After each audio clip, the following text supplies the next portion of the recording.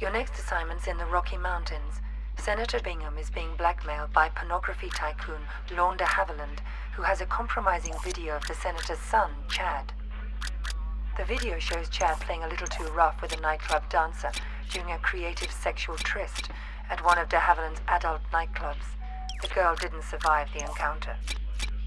Senator Bingham's involved in a tight re-election campaign. The video could cost him the election. So could any future misbehavior by his son. Our client wants Havilland and Chad taken out. He also wants the videotape.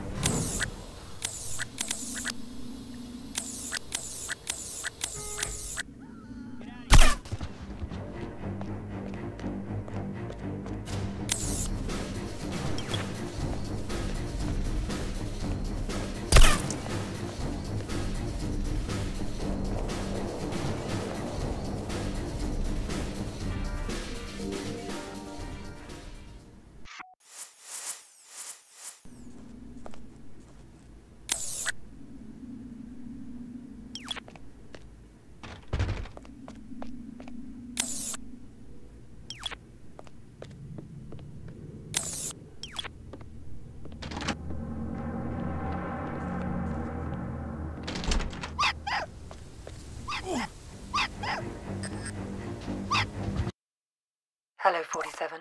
Your next assignment's in the Rocky Mountains. Senator Bingham is being...